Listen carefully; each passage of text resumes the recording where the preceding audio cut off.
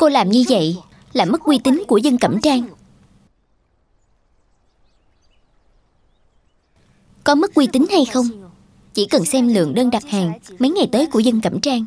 Nếu số lượng không hề giảm bớt, Thì chứng minh trong lòng khách hàng, Đồ của dân Cẩm Trang đáng giá này. Mặc dù ta tăng giá bán, Nhưng muốn giữ được khách, Trước giờ không dựa vào giá rẻ, Mà phải dựa vào chất lượng Và điểm này Dân Cẩm Trang chưa từng thất tính Dân Cẩm Trang bao nhiêu năm nay Vẫn duy trì giá rẻ, chất lượng cao Mà sao cô lại phá bỏ quy tắc? Sư phụ còn chưa nói gì. Cô làm như vậy quả là không ổn. Nghe thường Con làm rất tốt. Ta chỉ bảo con bán số y phục đó Kiếm 10 lượng bạc Nhưng không hề quy định phải bán thế nào. Thế nên Vẫn xem như con đã hoàn thành nhiệm vụ. Tốt quá rồi.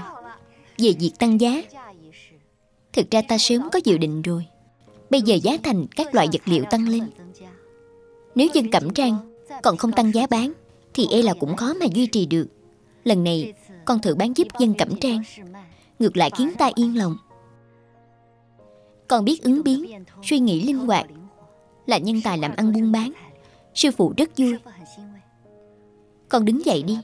Sau này, con có thể tiếp tục ở lại dân cẩm trang. Cảm ơn sư phụ. Mau đứng dậy đi, Mau đứng dậy đi. Dì Mai, Tối nay Mọi người cùng ăn mừng một bữa. Được, Con gà hôm trước, Dì không chịu hầm cho mọi người. Hôm nay nghe thường đã về, Có thể hầm rồi chứ. Được được, Ta lập tức đi hầm, Lập tức đi hầm. Nấu thêm bát canh gừng cho nó. Được. Cảm ơn sư phụ, Cảm ơn mẹ. Cô chỉ biết ăn thôi. Tốt quá rồi, nghe thường. Tốt quá rồi. Cảm ơn mọi người. Ba đôi, bốn đôi. Nào nào, để đây, để đây Đưa cái này cho ta. Đũa, đũa, đũa. Rượu, rượu, rượu, rượu. Đậu phụ cũng đến rồi. Cẩn thận một chút. Tránh ra nào. Đồ ăn đến rồi. Từ từ thôi. Để đây đi. Nóng nóng, nóng. Ở đây có chỗ. Lần đầu ta nấu món này. Nếu nấu không ngon Mọi người phải thông cảm đấy. Nếu thế này mà còn không ngon Thì đầu bếp của hội tiên lâu Sớm về nhà làm ruộng rồi. Giang Tú nói trong người không khỏe Không đến ăn cơm nữa. Sư phụ, Hay là chúng ta ngồi xuống ăn trước đi. Vậy để nó nghỉ ngơi đi. Dì Mai, Nhớ phải để lại mấy món cho nó. Ta biết rồi. Mọi người ngồi xuống đi, Để ta nói mấy câu. Dân Mặc dù hôm nay không phải là ngày lễ, Nhưng nghe thường, Quay lại dân cẩm trang, Cũng xem như là ngày đoàn tụ. Hơn nữa, Các con đã sắp tốt nghiệp. Chẳng bao lâu sẽ rời khỏi dân cẩm trang Mỗi người đi một nơi. Thế nên sư phụ tại đây Mời các con một ly trước. Chúc các con sau này tiền đồ sáng lạng. Không đợi đã, đợi đã. Chúng ta đứng dậy đi. Đứng dậy đi. Ly này phải là chúng con kính sư phụ mới đúng. Mấy năm nay sư phụ dạy dỗ chúng con Quả thực đã vất vả rồi. Chúng con nên cảm ơn sư phụ.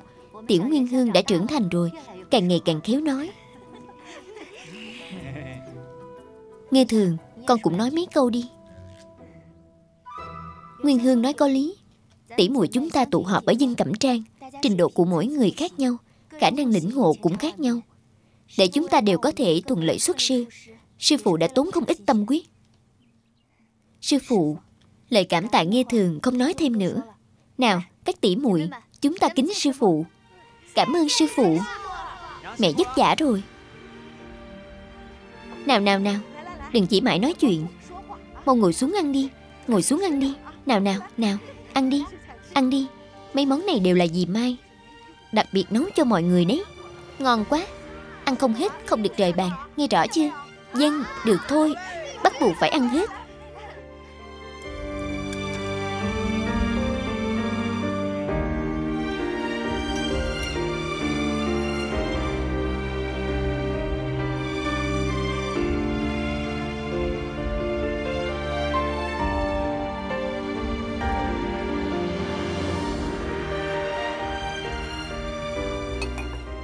Dì Mai, Không còn sớm nữa, Đừng thu dọn nữa. Mau về phòng ngủ đi. Ta biết rồi, Cô cũng đi nghỉ đi. Nào, hai huynh đệ này. Năm tên đầu sỏ này, Sáu sáu này. Năm tên đầu sỏ này, Thua rồi, Uống. Huynh bắt buộc phải uống hết toàn bộ. Thừa thiên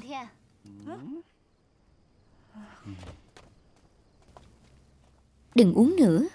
Con kính mẹ một ly. Đi thôi đi thôi đi thôi. Đi đâu thế? Đừng kéo ta. Sư phụ giận rồi. Ai bảo cô cứ nói mãi. Nguyên Hương, Cô đến phòng bếp, lấy ít nước ô mai mà dì Mai ủ, Cho Quỳnh ấy uống mấy bát cho tỉnh táo. Nước ô mai. Có phải cô biết ta không thích uống đồ chua? Nên cố ý chơi ta phải không? Ai bảo Quỳnh uống nhiều như thế? Ta nói cô nghe. Lần này nếu cô không về, Thì ta cũng không ở lại dân cẩm trang này nữa. Từ nay về sau, Cô đi đâu thì ta đi đấy. Chân trời góc bể. Ta đều Càng nói càng hăng có phải không? Nếu để mẹ cậu biết được Thì còn không lột da cậu à Nguyên Hương. Mau kéo cậu ấy đi đi. Kéo đi, kéo đi. Đi đi, đi, đi thôi, đi thôi. Được rồi, từ từ thôi Ta đã đi theo cô rồi. Đứa trẻ này. Được rồi, đừng thu dọn nữa. Mau đi nghỉ đi. Ta thu dọn là được rồi. Dì Mai để ta giúp. Không cần, không cần. Cô mau đi nghỉ đi. Để ta tự làm Để ta tự làm. Đi đi. Vậy ta đi nhé. Đi đi.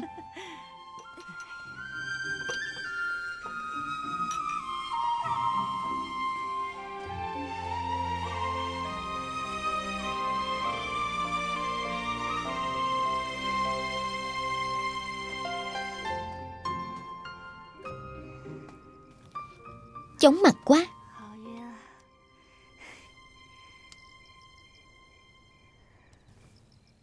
Cô nương thật có nhà hứng. Ở đây nghe dế kêu. Chẳng phải công tử cũng chưa ngủ. Ở đây nhìn người khác nghe dế kêu sao? Quý trang nói cười vui vẻ, Ăn uống linh đình. Tại hạ ở bên cạnh, Nghe mà thấy ngứa ngáy trong lòng, Nhưng lại không được mời. Nên tất nhiên là không ngủ được. Chắc hẳn mời công tử đến, Công tử cũng không có mặt mũi đến. Vì sao ta lại không có mặt mũi đến? Ta là khách quý của sư phụ cô đấy. Ngài chẳng qua là khách của triều đại nhân. Sư phụ chúng ta cũng chỉ nể mặt triều đại nhân, Mới nói lấy lệ với ngài dạy câu Không ngờ ngài Ta làm sao? Chỗ người ta làm ăn, Biết nhưng không nói ra. Âu Dương công tử cũng là thương nhân, Cần gì phải làm khó nhau? Quá ra cô còn để bụng việc bán đồ à. Công tử hẳn là biết. Ta phải dựa vào sạp hàng đó Để quay về dân cẩm trang. Vậy mà suýt nữa đều bị ngài làm hỏng. Xem ra cô không hề biết lỗi. Ta dựa vào bản lĩnh thật sự Cũng dùng đồ thật Thì có lỗi gì? Làm buôn bán. Nếu chỉ dựa vào mấy chiêu trò này Thì sao có thể thành công được? Nhưng ta, ta còn chưa nói hết. Ta hỏi cô. Cô có nắm chắc về chất lượng thành phẩm Và danh tiếng của dân cẩm trang không? Tất nhiên rồi. Vậy vì sao cô lại đáo bán giữa đường Thậm chí không tiết ký gửi Để tự làm giảm giá trị bản thân? Ta, ta gì mà ta? Vì sao không trực tiếp đi tìm khách quen của sư phụ cô Đến đó bán hàng? Họ biết rõ dân cẩm trang Lại có thể phân biệt hàng thật giả Chẳng phải càng dễ dàng hơn sao? Sư phụ bảo cô bán số đồ đó. Lại không quy định, Không cho cô cướp khách hàng của bà ấy. Nhưng cô lại bày hàng giữa đường, Đóng kịch trẻ tiền. Không sợ làm hỏng Thanh danh của dân cẩm trang sao?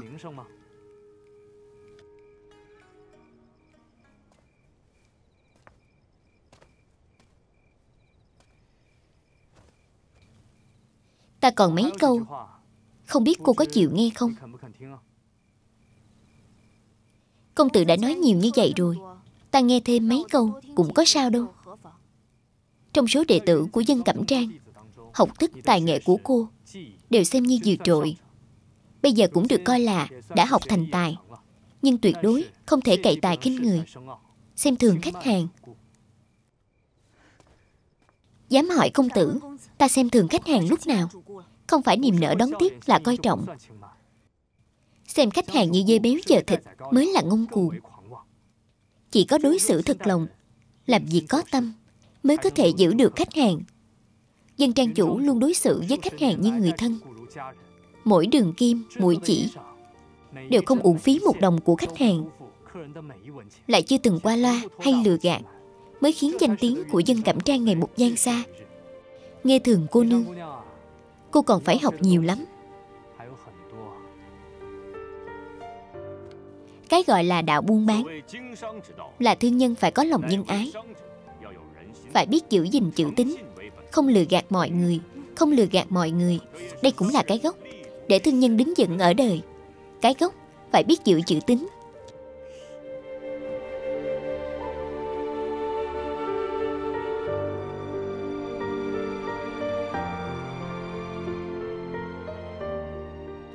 Nghe thường cô nương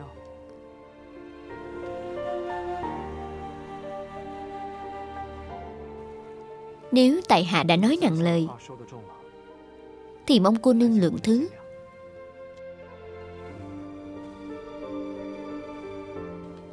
Đa tạ công tử chỉ dạy. Nghe thường xin ghi nhớ kỹ.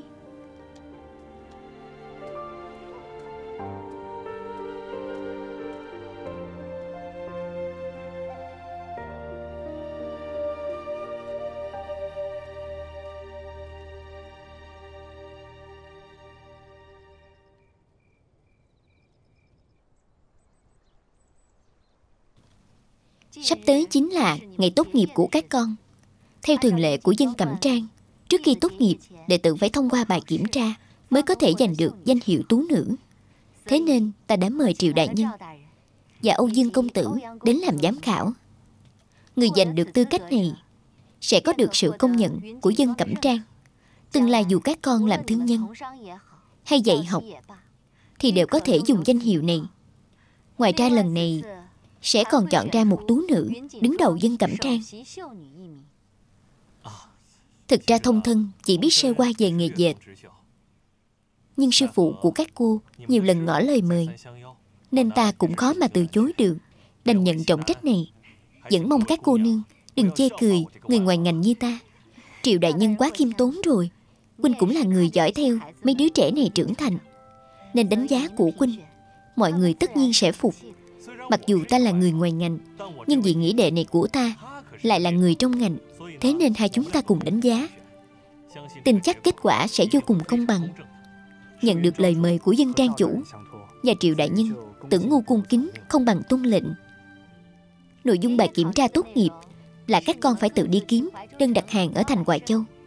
Người kiếm được nhiều đơn nhất Sẽ giành chiến thắng. Vì ta chưa từng dạy các con Làm thế nào để kiếm mối làm ăn nên lần này kiểm tra là khả năng ứng biến và tài kinh doanh của các con. Người không thể làm được, nên sớm từ bỏ ý định làm thương nhân, đến các vườn theo lớn làm thợ theo cũng không phải là không thể. Các con hiểu rồi chứ? Hiểu rồi ạ. À. được. Các con đi chuẩn bị đi. Triệu đại nhân, âu dương công tử, mời hai vị vào trong. Được, mời. Nghe thường, Danh hiệu tú nữ đứng đầu lần này thuộc về cô chắc rồi. Văn tú tỷ nhìn gì thế? Còn chưa thi, Còn cần phải thi sao? Trong đám người chúng ta cô có bạn lĩnh nhất, Mọi người biết không? Thực ra vị Âu Dương công tử kia Không phải là thương nhân, Mà là một vị dương gia. Thật sao? Ngày ấy có hứng thú với nghề dệt ở Giang Nam, Nên mới đến Hoài Châu xem xét dân tình. Chúng ta có thể mời được vị Lạc Dương Điện Hạ này đến. Đã là dinh dự rất có có được rồi. Âu Dương công tử lại là một vị dương gia. Xong rồi, xong rồi. Chúng ta có từng bất kính với dương gia không? Quá ra ngày ấy là một vị dương gia. Chẳng trách khí chất lại xuất chúng như thế. Nghe thường Trước đây mẹ ta không cho ta nói với các cô. Cô đừng để ý nhé. Ngày ấy có phải là dương gia hay không Đều không liên quan đến ta. Nhưng cô hay nói chuyện khó nghe với ngày ấy. Cô không sợ ngày ấy nếu ngày ấy ghi thù ta vì chuyện nhỏ này, Thì có khác gì hạng tiểu nhân hẹp hòi. Cô ta nhất định đã sớm biết thân phận của Âu Dương Công Tử, Lại đứng một bên nhìn ta bị bêu xấu, Hay cho cô đấy nghe thường. Thù này, Ta nhất định sẽ trả. Nghe thường, ta Ta chẳng biết gì cả. Cô có thể dẫn ta theo không? Yên tâm, Sao ta có thể bỏ rơi cô được? Nghe thường, cô tốt quá. Cả ta nữa, Cả ta nữa. Được được được. Mọi người đi cùng nhau. Văn Tú tỷ Lần này có thể cho ta đi cùng tỷ không? Sắp tốt nghiệp rồi Rồi mỗi người sẽ đi một nơi. Ta giúp được cô một lúc. Có giúp được cô cả đời không?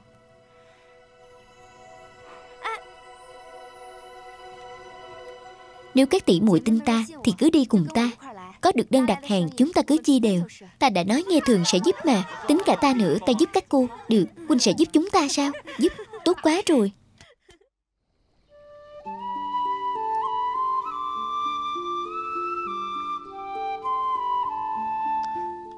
Rời khỏi dân cẩm trang, Cô có dự định gì? Ta cũng không biết. Có lẽ sẽ đến Kinh Thành trước. Cô có người thân ở đó sao? Cậu mờ ta ở đó. Chỉ là nhiều năm rồi không qua lại. Bây giờ cha mẹ ta đều đã mất. Cũng không biết Họ có chịu thu nhận ta không. Cô tốt hơn ta, Ít nhất còn có cậu mờ. Chứ ta chẳng còn người thân nào. Hay là cô cùng ta đến chỗ cậu ta đi. Cậu ta ở Kinh Thành, Cũng có một cửa hàng làm y phục Giờ kéo chúng ta có thể giúp được. Nhưng ta, Đừng nhân nữa. Ta không muốn xa cô có được không? Được.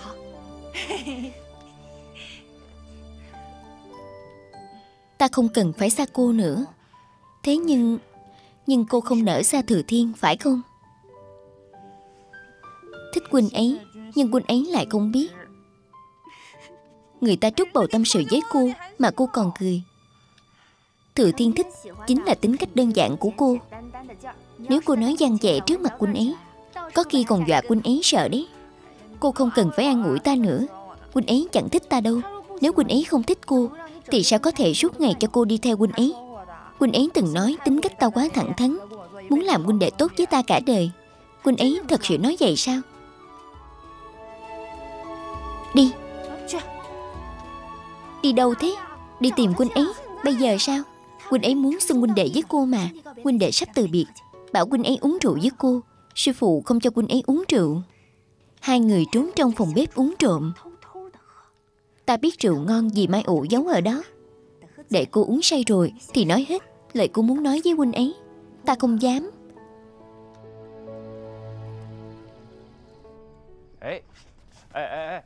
Làm gì thế? Lôi lôi kéo kéo. Cô muốn nói gì thì nói đi. Cô đóng cửa làm gì?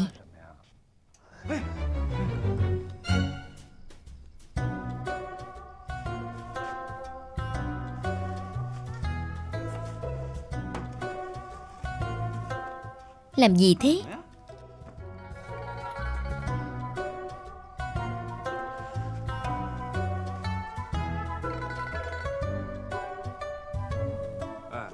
Ta tiêu hết tiền tháng này rồi.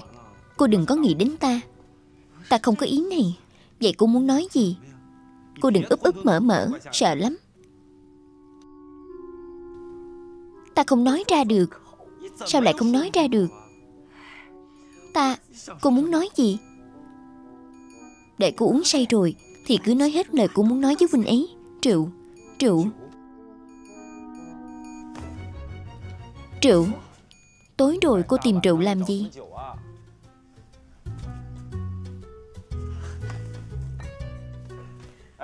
Triệu của dì Mai đấy. Cô đừng động vào. Nếu không dì ấy, sẽ nghĩ là ta trộm. Trộm thì trộm, Dù sao cũng sắp rời khỏi dân cẩm trang rồi. Cô làm gì thế? Tối rồi. Cô đừng uống nữa. Đây là rượu mạnh đấy. Ta bắt buộc phải nói với huynh. Vậy cô nói đi.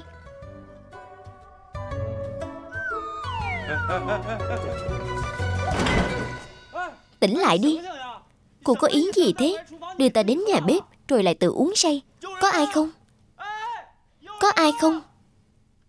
Sao cô nặng thế hả? Ta cũng không nhắc nổi. Mọi người ra ngoài, Nhất định phải chú ý an toàn. Lát nữa ta sẽ nói với mọi người cách phân phối, Thừa Thiên. Nguyên Hương đâu? Còn nói nữa. Tối qua cô ấy nhất quyết kéo ta uống rượu. Kết quả một mình cô ấy uống hết rượu của dì Mai. Ta đang lo không biết phải ăn nói với dì Mai thế nào đây. Việc quan trọng bây giờ là nếu Nguyên Hương còn không đến, Sẽ bỏ lỡ bài kiểm tra. Vậy phải làm thế nào? Bây giờ cô ấy ngủ như heo, Gọi thế nào cũng không dậy. Vậy Chỉ có thể phiền huynh làm thay thôi. Đi thôi, Chúng ta phải đi rồi. Được, Đi thôi Đi thôi. Văn Tú tỷ, Danh hiệu tú nữ đứng đầu chắc chắn là của tỷ. Cẩn thận đi.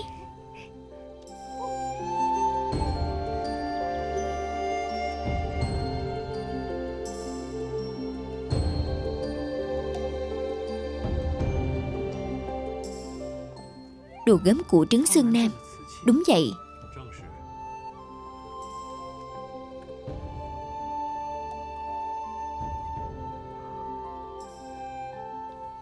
Quả nhiên danh bất hư truyền.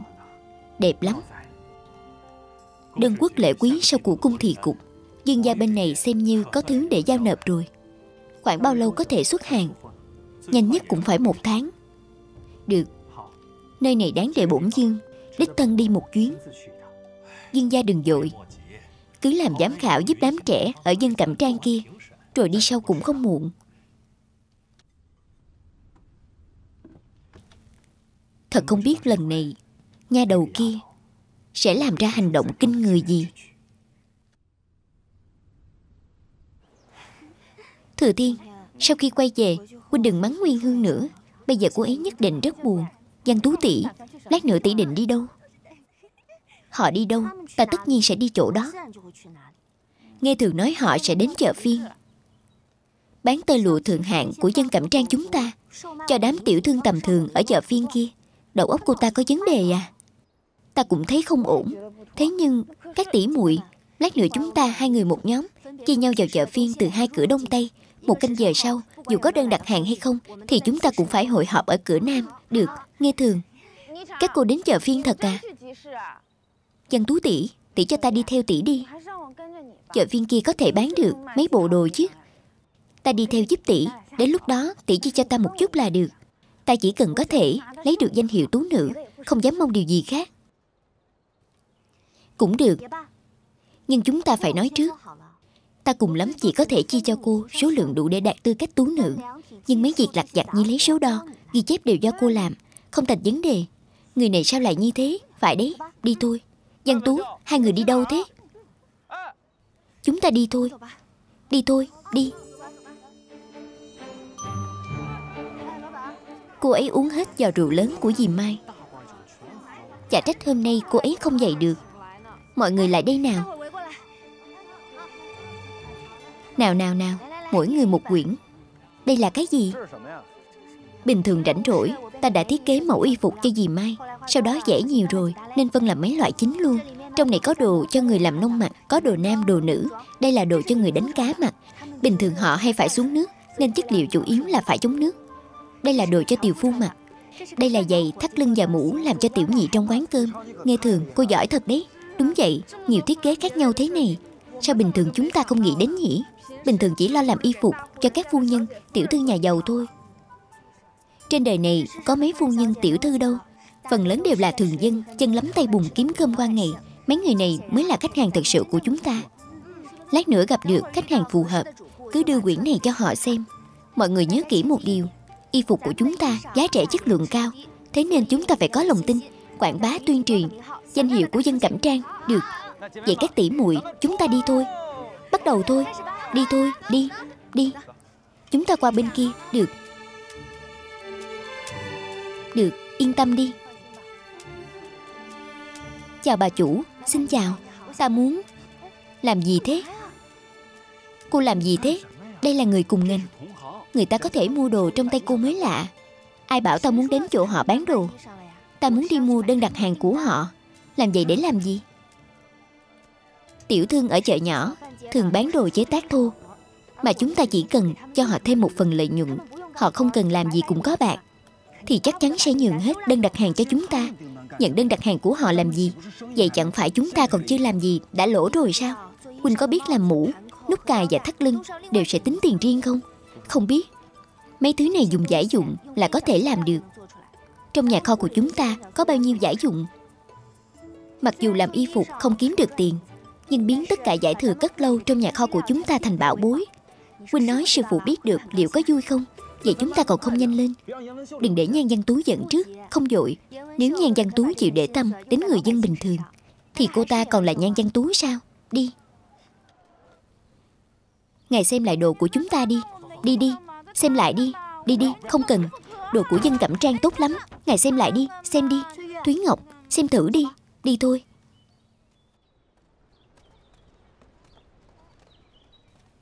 Dân Tú tỷ, Bây giờ phải làm thế nào? Tỷ xem mặt trời sắp xuống núi rồi, Mà chúng ta mới có 5 bộ đồ. Mặc dù đơn đặt hàng ít, Nhưng khách hàng của chúng ta đều là nhà giàu. Đơn giá cao, Cô đừng chê ít. Có khi đám nghe thường còn chưa kiếm được đơn đặt hàng nào đâu. Nói cũng đúng, Mấy tiểu thương ở chợ phiên kia, Có mấy người có thể mặc đồ may riêng chứ. Được rồi, không cần sớm nữa Chúng ta mau về đi. Nhưng ngồi nhỡ đám nghe thường Không có ngồi nhỡ Tất nhiên, tất nhiên rồi. Danh hiệu tú nữ đứng đầu lần này Dân tú tỷ nắm chắc rồi. Nhưng cô thì thảm rồi. Chẳng kiếm được đơn hàng nào. Còn chẳng được tính là tú nữ. Chẳng phải chúng ta có 5 đơn đặt hàng sao? Đã nói là cho ta một đơn mà. Năm đơn đặt hàng này đều là ta kiếm được. Cô chỉ giúp ta lấy số đo thôi. Chẳng lẽ còn muốn lấy một đơn của ta sao? Chúng ta đã nói rồi mà. Cô yên tâm. Ta nhất định sẽ nói tốt cho cô. Mấy câu trước mặt sư phụ. Mặc dù cô chẳng kiếm được đơn nào, Nhưng cô học nghề mấy năm cũng không dễ. Tin chắc sư phụ sẽ thông cảm thôi. Nói cách khác, Cho dù sư phụ không thông cảm, Thì dù sao đám nghe thường Cũng chẳng có được đơn nào. Cũng không phải chỉ có mình cô. Nhan văn tú, Cô cũng quá bị ổi rồi. Cho dù có được danh hiệu tú nữ đứng đầu, Thì cô cũng chẳng đáng một đồng.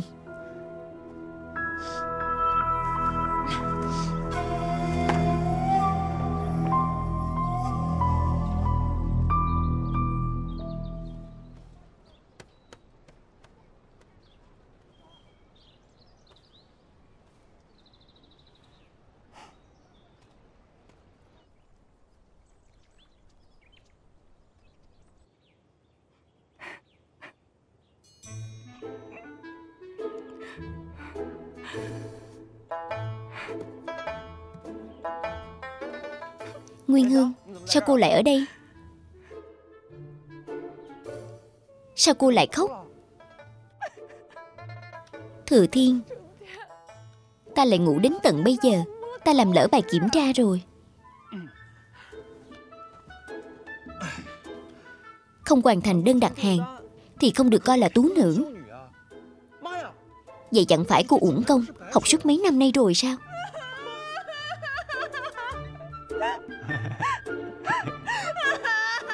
Ta đùa cô thôi. Đơn đặt hàng của cô, Ta đều thay cô hoàn thành cả rồi. Cái gì? Mọi người làm thay ta rồi sao? Mọi người đã kiếm được bao nhiêu đơn đặt hàng? Nhiều đến mức cô không dám nghĩ đến. Nghe thường sợ cô lo lắng, Nên bảo ta về nói với cô trước.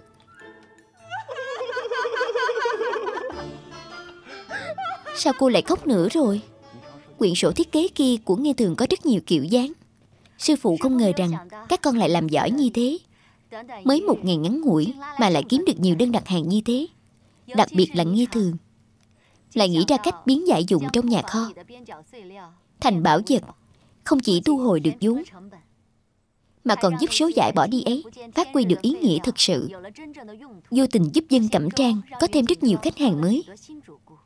Thế nên nghe thường, Bài học này không phải sư phụ dạy con, Mà là con dạy cho sư phụ.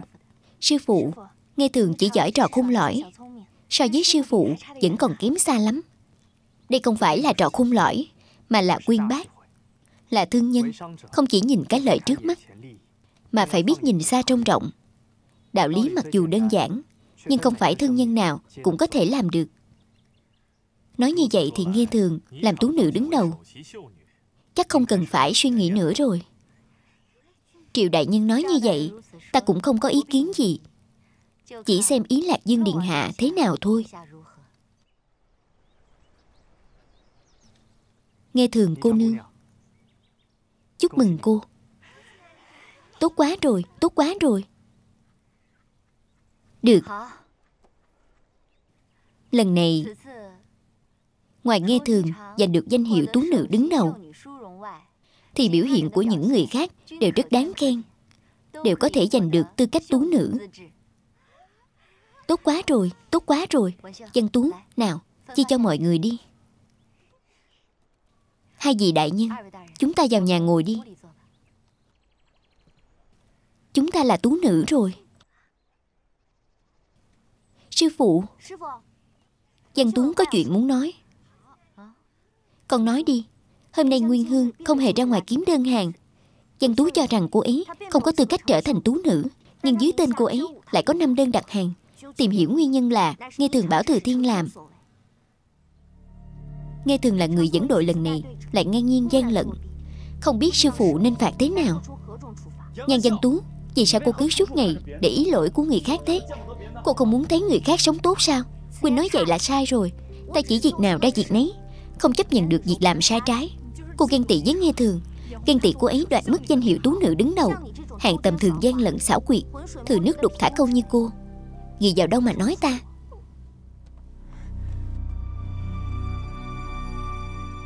Sư phụ, văn Tú nói không sai. Hôm nay đúng là Nguyên Hương không hề ra ngoài. Đơn đặt hàng của cô ấy cũng đúng là nghe thường, Bảo Thừa Thiên làm thay. Nghe thường có lỗi, Không xứng với danh hiệu tú nữ đứng đầu. Xin sư phụ thu lại.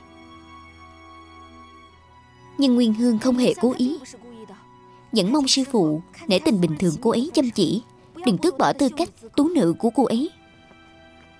Sư phụ, Nghe thường xứng đáng với danh hiệu tú nữ đứng đầu. Người nên chịu phạt chỉ có mình Nguyên Hương. Người cứ phạt Nguyên Hương đi. Nếu vậy thì Con cũng nên chịu phạt. Mẹ, Mọi hình phạt của Nghe Thường và Nguyên Hương đều do con gánh giác Mẹ muốn phạt con thế nào cũng được. Chỉ xin mẹ đừng tước bỏ tư cách tú nữ của họ. Họ còn phải dựa vào tay nghề này để kiếm cơm. Sư phụ, Muốn phạt thì phạt cả con đi. Con cũng nên chịu phạt. Thừa thiên kiếm đơn thay Nguyên Hương. Con biết mà không báo, Cũng nên chịu phạt cùng. Sư phụ, Chúng con cũng cam tâm chịu phạt.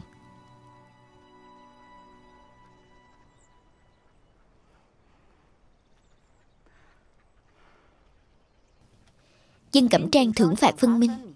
Nghe thường Nguyên Hương, Thừa Thiên Nên chịu phạt.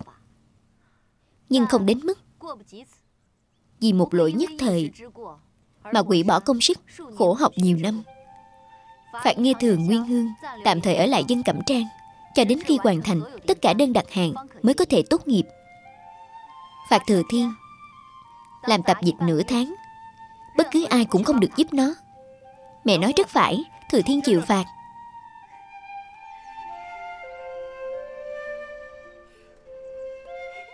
Không sao rồi. Đứng dậy đi, Đứng dậy đi. Không sao rồi, Không sao rồi, Không sao rồi. Nguyên Hương, không sao rồi.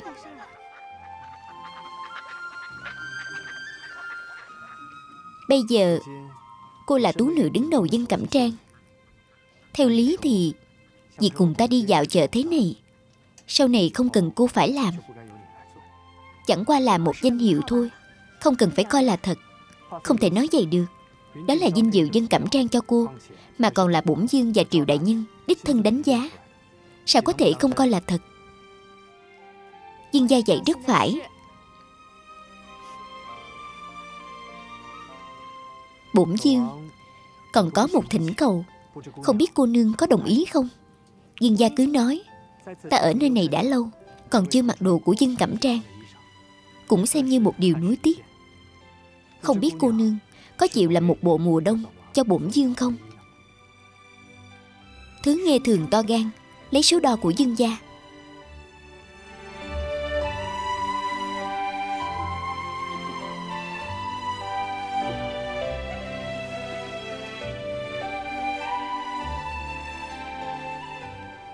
Dương gia đến đây đi.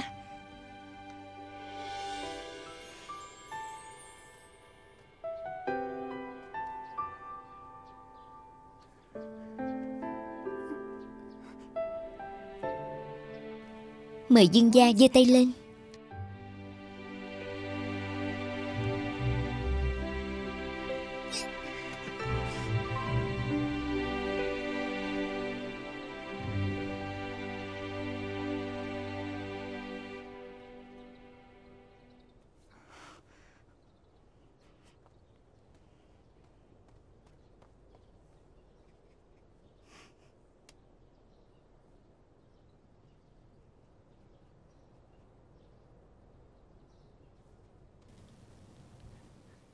Lạc Dương Điện Hạ.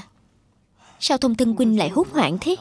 Trấn Sơn Nam gửi thư đến, Nói nơi đó có một đoàn thương nhân ba tư, Tìm họ đặt một lô hàng lớn. E là số dương gia cần Bọn họ không kịp làm cuối năm. Làm gì có lý đó, Là bổn dương đặt đơn trước. Nếu không thể giao hàng đúng hẹn, Thì bổn dương phải nói với bệ hạ thế nào? Chi bằng dương gia, Lập tức đến Trấn Sơn Nam, Đích thân đốc thúc họ thực hiện.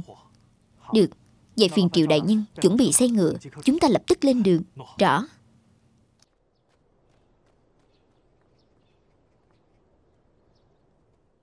Bây giờ dương gia phải đi sao?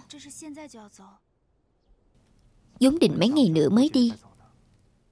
Nhưng bây giờ xem ra Không đợi được rồi.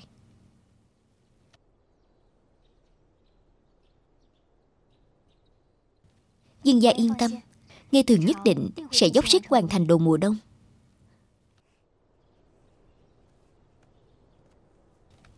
Ngọc này xem như tiền đặt cọc. Để ta quay về sẽ chuộc lại. Được không?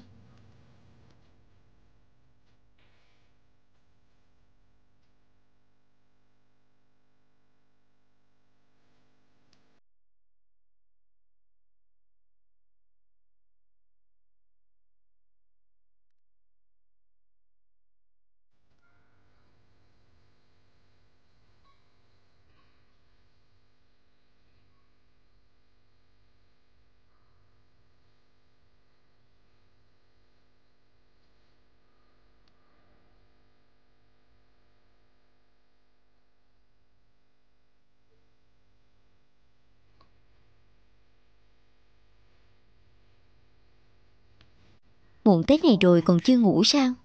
Đang làm gì thế Sư phụ? Nếu không ngủ được Thì ngồi cùng sư phụ đi. Dạ.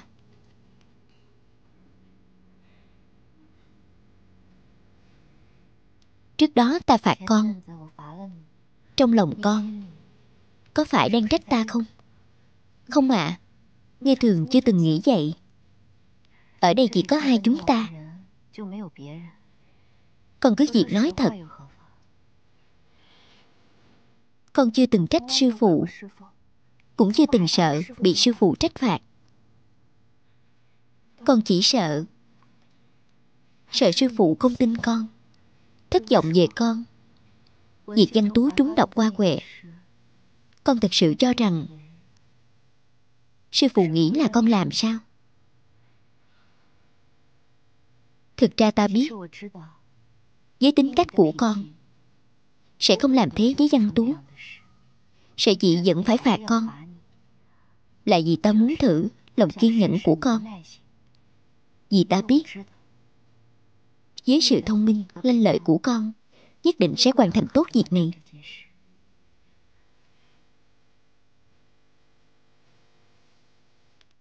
Con còn nhớ, Lúc con vừa đến dân cẩm trang từng nói đến chí hướng của con không?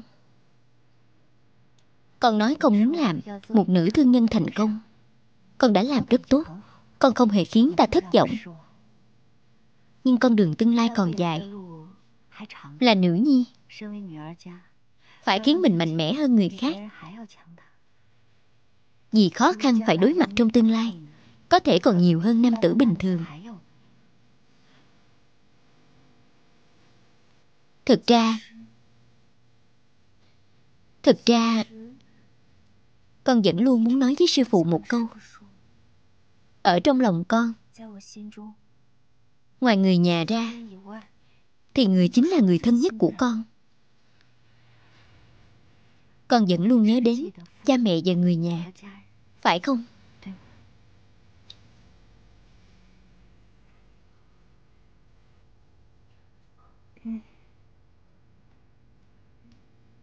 Con vốn là người kinh thành. Trong nhà mở cửa hiệu giải. Con còn một tỷ tỷ. Năm đó, Nhà con được chọn làm cống thương, Nhưng chẳng bao lâu sau Đã bị giam vào ngục. Nói là đám sứ giả Tây Châu. Sắp đến ngày sinh thần sư phụ, Trước khi chúng ta rời khỏi dân cẩm trang, Phải làm cho người tiệc đón sinh thần thật lớn, Phải các cô định tặng quà gì? Ta còn chưa nghĩ ra. Ta làm một cái trăm. Ta nghĩ thế này, Chuẩn bị đồ gì không quan trọng. Quan trọng là thành ý. Chỉ cần có thành ý, Thì sư phụ khẳng định sẽ thích. Không sai, Bây giờ mới nghĩ đến việc chuẩn bị. Thế trước đó đã làm gì thế? Muộn rồi. Mặc kệ cô ta, Vậy chúng ta nên chuẩn bị gì nhỉ? Hay là chúng ta hỏi nghe thường đi. Được được. Đúng vậy. Chúng ta đi tìm cô ấy. Thật sự cho rằng nghe thường là thần tiên. Việc gì cũng giúp được các cô à. Vậy để ta nói cho cô biết. Nghe thường luôn đưa ra được ý tưởng. Đặc biệt nhất, Được lòng sư phụ nhất. Ta không sánh được với tư chất của cô ấy. Cũng không học được. Nhưng văn tú, Cô thì khác. Nếu ta cố gắng chăm chỉ thì có khi Cũng có thể đuổi kịp cô đấy. Các cô thấy đúng không? Phải phải Phải. Ta tất nhiên không bằng nghe thường của cô. Xin giúp cô chịu tội giúp cô. Cô ta tốt với cô như thế. Dĩ nhiên là cô thiếu điều muốn tôn thờ cô ta luôn. Chỉ là Ta khuyên cô vẫn nên bớt lại đi.